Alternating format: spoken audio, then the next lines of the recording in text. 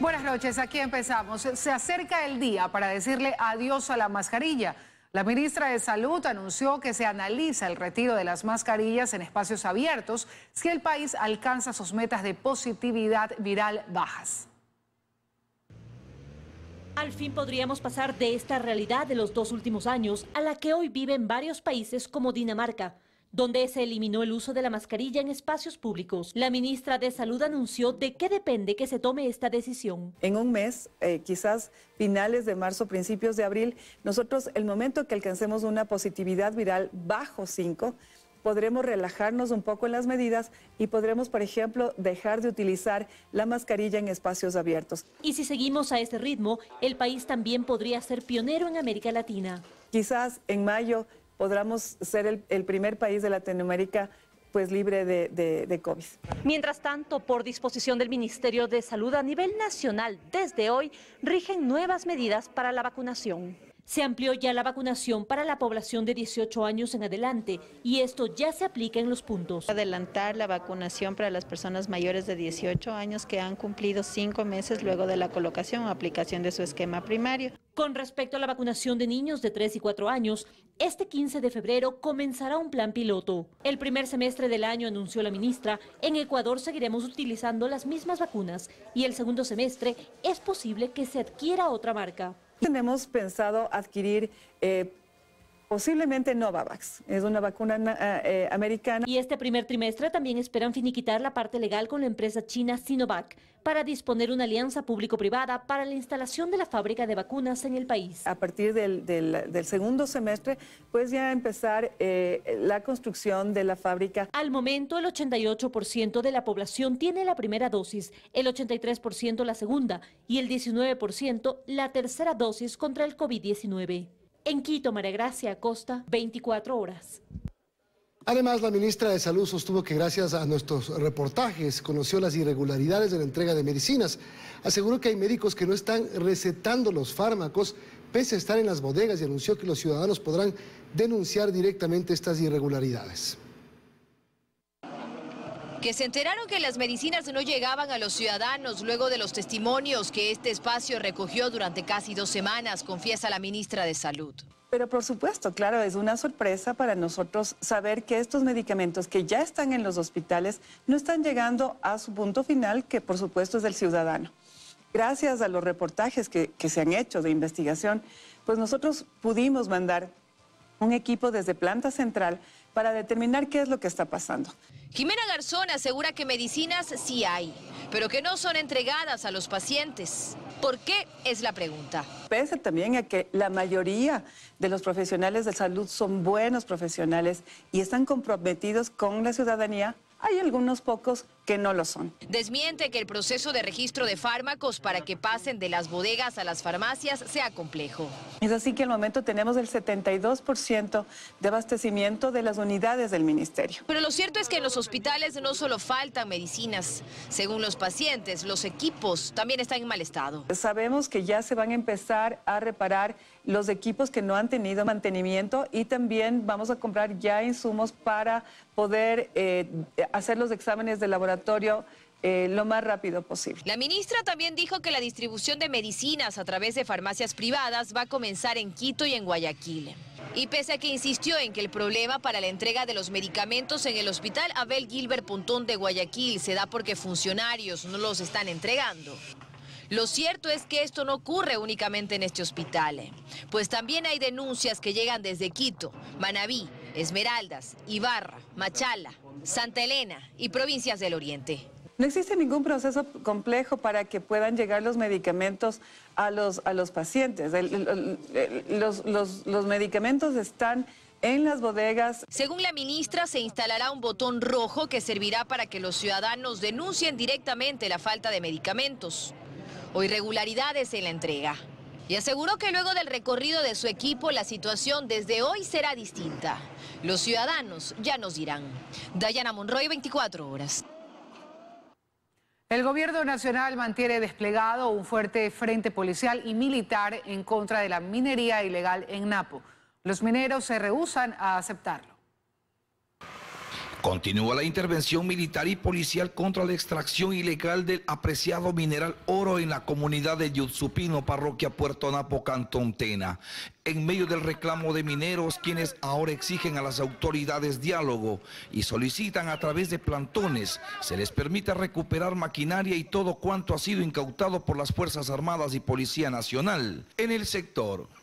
Y trabajando con bateas, ¿qué hicieron? Me nos quitan. Yo estoy haciendo minería porque no hay trabajo. No nos legalizan. Desde la madrugada del domingo, las fuerzas del orden y más autoridades se encuentran en la comunidad de Yutsupino, donde se venía desde hace meses atrás realizando trabajos de minería. Según informe de las autoridades, la zona está controlada y lo decomisado bajo vigilancia policial y militar. Para en los próximos días, que sean las autoridades competentes quienes vean cuál será el futuro de lo incautado. Y posteriormente, de, acuerdo a eso, se procederá conforme a la ley que, que corresponde a cada área. Los organismos de control y vinculados con esta actividad indicarán cuando sea ya propicio en que Fuerzas Armadas y Policía Nacional abandonen el sector. En un largo recorrido y bajo autorización pudimos llegar a los puntos bases de concentración del personal uniformado, quienes mantienen restringido el paso y aquí controlan el ingreso y salida de personas y vehículos. Bueno, yo ninguna porque ni siquiera me cancelaron lo, lo que trabajé aquí. En horas de la tarde, un nuevo enfrentamiento entre mineros y las fuerzas del orden dejó daños en el espacio público e incluso se registraron la quema de una choza que era parte de las obras construidas en el nuevo malecón de la cabecera parroquial de Puerto Napo. Desde la comunidad de Yutsupino con imágenes de Juan Sarmiento Roberto Verde Soto 24 horas. Y hoy, a propósito de este tema, comparecieron varias autoridades, entre ellas la ministra de Gobierno, el ministro de Energía y la fiscal general, para eh, contar las acciones que se están tomando respecto de la minería ilegal en el país. La Comisión de Biodiversidad de la Asamblea recibió a varios representantes de la sociedad civil y también de las comunidades indígenas de Napo, quienes expresaron su preocupación por las actividades de minería ilegal en esa provincia. Ellos sostienen que alertaron de esto en el mes de noviembre de 2021. Desde esa fecha hasta la actualidad, ustedes se pueden dar cuenta cómo ha avanzado el biocidio al cual fue sometido las tres comunidades. Desde el Ministerio de Energía se hizo un anuncio respecto de suspender todas las actividades mineras en ese lugar. Este ministerio suspenderá toda actividad minera en la zona hasta tanto no se remedien y se sanen los problemas de orden ambiental que se han provocado. La ministra de Gobierno, por su lado, informó todas las acciones de control que se han realizado en esa zona. Ejecutó 14 operativos durante el año 2021 en el año 2022 ha hecho tres operativos. Sin embargo, nada es suficiente, pues pese a tener evidencia y lograr la detención de ciudadanos, hay trabas, dice, con la justicia. ¿Por qué? Porque sí, llegamos después de mucho tiempo de hacer las investigaciones, con todas las evidencias, a donde el juez, y el juez resuelve que eso no es suficiente o que eh, le pueden dar una medida de carácter cautelar. ¿Por qué los jueces entorpecen el trabajo coordinado de las instituciones?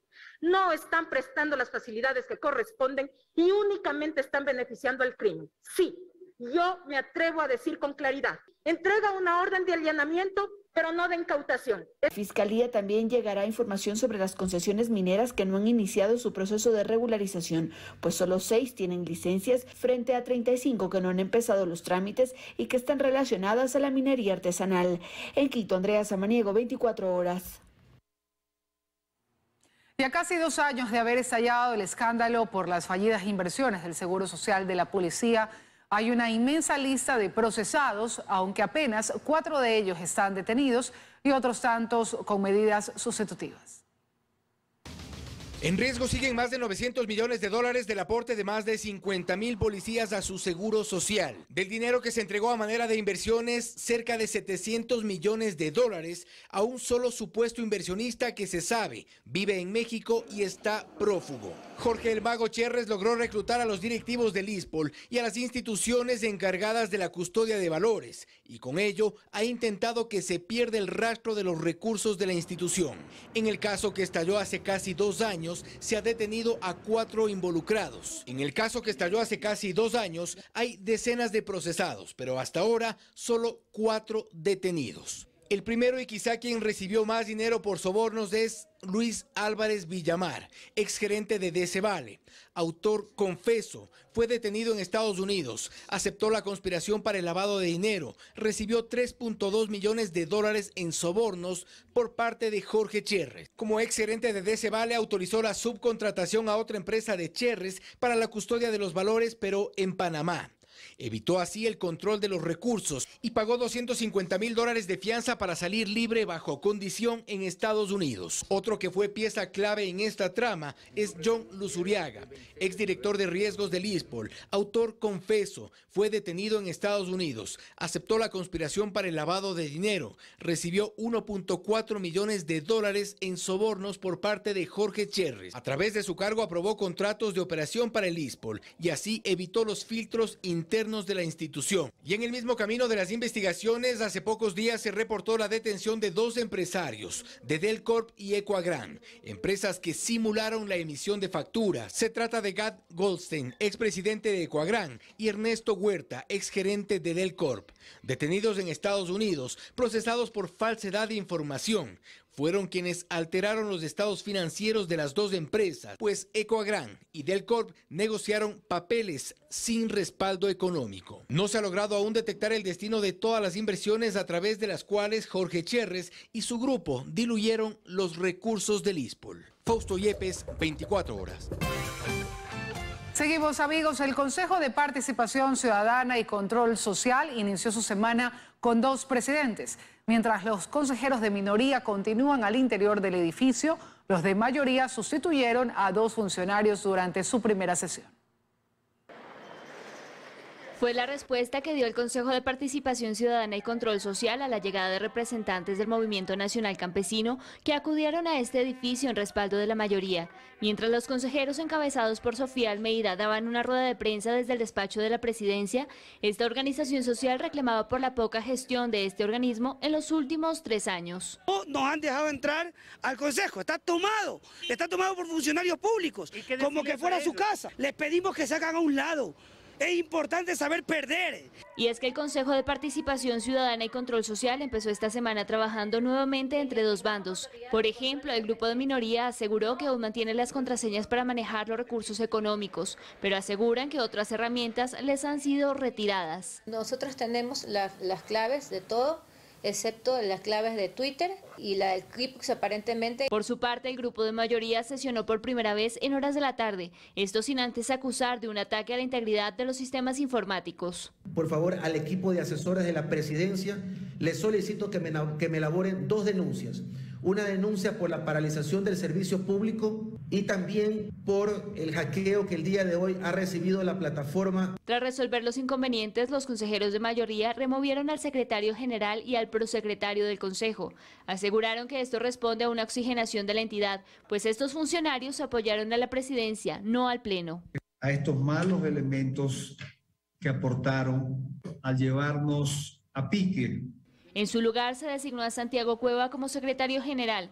Este martes el turno de sesionar será para los consejeros de minoría, cuya convocatoria es a las 16 horas. En Quito, Daniela Valencia, 24 horas. 33 toneladas de droga han sido decomisadas en lo que va del año en todo el país. Esto es el doble de lo incautado en el mismo periodo de 2021. Europa es el principal destino del alcaloide. Ecuador sigue exportando droga al mundo, aunque esta vez la policía detuvo un importante envío en medio de estas cajas de banano que tenían como destino el puerto de Amberes en Bélgica. Estaban escondidos más de 7 mil paquetes de cocaína. La Unidad Nacional eh, de Adiestramiento Canino con el CAN Jesse eh, hace esta inspección y el CAN procede a dar una indicación positiva para la sustancia sujeta a fiscalización, motivo por el cual se efectúa una inspección más eh, minuciosa. En total, Se impidió la salida de 7 toneladas de cocaína, valoradas en Europa en más de 262 millones de dólares. En el operativo denominado San Valentín no hubo detenidos y se investiga en qué parte de la ruta de exportación el contenedor fue contaminado. En lo que va del año, en todo el país se han decomisado más de 33 toneladas de droga, dos veces más que en el mismo periodo de 2021. Pero no es todo. Del alcaloide incautado, una buena parte fue encontrado al interior de los puertos y de esa cantidad, la mayoría en el puerto de Guayaquil. Tomemos en consideración de que también eh, el puerto de Contecom es uno de los principales puertos marítimos de donde sale el producto ecuatoriano hacia el mundo. Entonces, obviamente la confluencia de eh, exportación es mayor por aquí y por ende también el riesgo de contaminación. Esto mientras el gobierno sigue afinando los detalles para que toda la mercadería que exporta Ecuador pase por controles no intrusivos antes de salir, pero esto recién será obligatorio a partir del próximo año. Y este eslabón es uno más de todos los eslabones que deben estar en esa cadena. A partir, eh, digamos, de estos requisitos, ellos también van a hacer mejoras en los procesos de vigilancia del movimiento de la carga por eh, digamos, por, la, por, por el río hasta llegar a mar abierto. En el caso del puerto de Guayaquil, por la cantidad de carga que se maneja, deberán instalar entre tres y cuatro controles extras. Joana Ramos, 24 horas. La criminalidad en Guayaquil y Durán ha alcanzado niveles impensados. La mañana de este lunes, dos cuerpos aparecieron colgados en un paso peatonal en Durán. Luisa María Heredia está en ese cantón de la provincia del Guayas y nos cuenta detalles. Luisa, te escuchamos. ¿Qué tal compañeros, amigos televidentes? Muy buenas noches. Fue justamente aquí, en esta parte del paso peatonal que está ubicado en la avenida Nicolás Lapenti, que es la vía de ingreso a Durán y de salida si usted se dirige a San Borondón o Guayaquil, donde hace menos de 24 horas se dio el macabro hallazgo. La ola de criminalidad está alcanzando niveles inimaginados. Veamos el siguiente reportaje.